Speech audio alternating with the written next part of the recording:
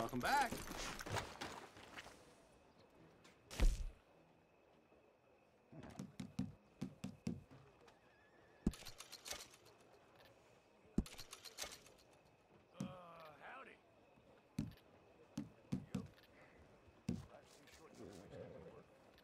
Hey, I earned this. What'd you earn?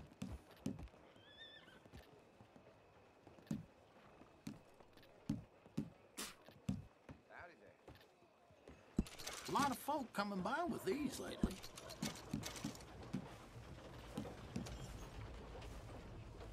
Seems everyone with a rifle been hunting these of late.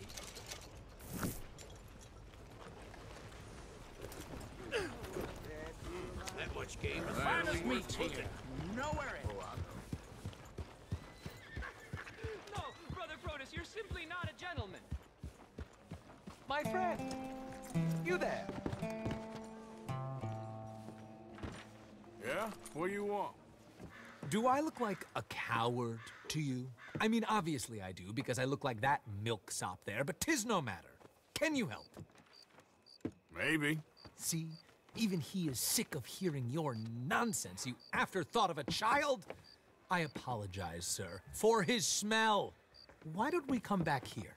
To somewhere more conducive to displays of utter gallantry and deep seated inadequacy. Well, what did you have in mind? Shoot a bottle off my head, like William Tell. This is getting silly. Very silly. The man is a moron. Shoot one off mine instead. I'm the brave one. I'm not scared. Uh, I'm a good shot, but I won't even flinch. I don't want to hurt you, boys. Oh, I can't lose. Either I'll prove my masculinity or die and be spared his company. Come, sir, please. Okay, then. Listen, just make sure everyone knows you asked me to do this. Of course, of course, of course. You boys are ridiculous. Okay? Now is. You got mine! Good shot! that was fun. What was? I feel like we didn't even do anything. Oh, of course you didn't. We all know you're hardly sentient at all. Another round, smaller bottles, sir. Please. What? Uh, I don't know. Please. This creature is unbearable. He needs silencing. I'll do my best. As long as she witnesses that I'm doing this under duress. Oh, you boys are so silly.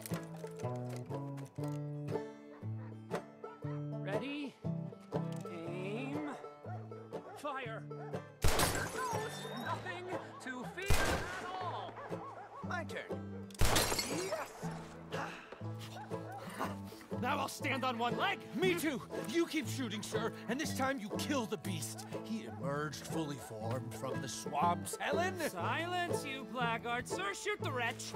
My bottle in his brains, if you please. At least I have brains. Why?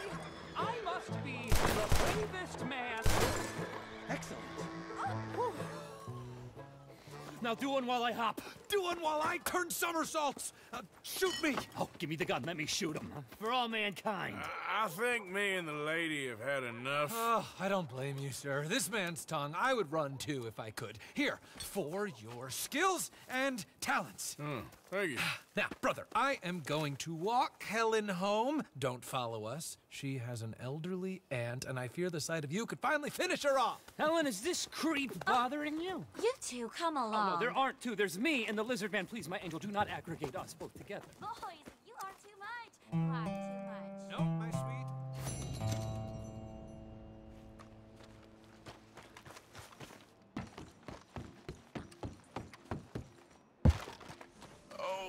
girl.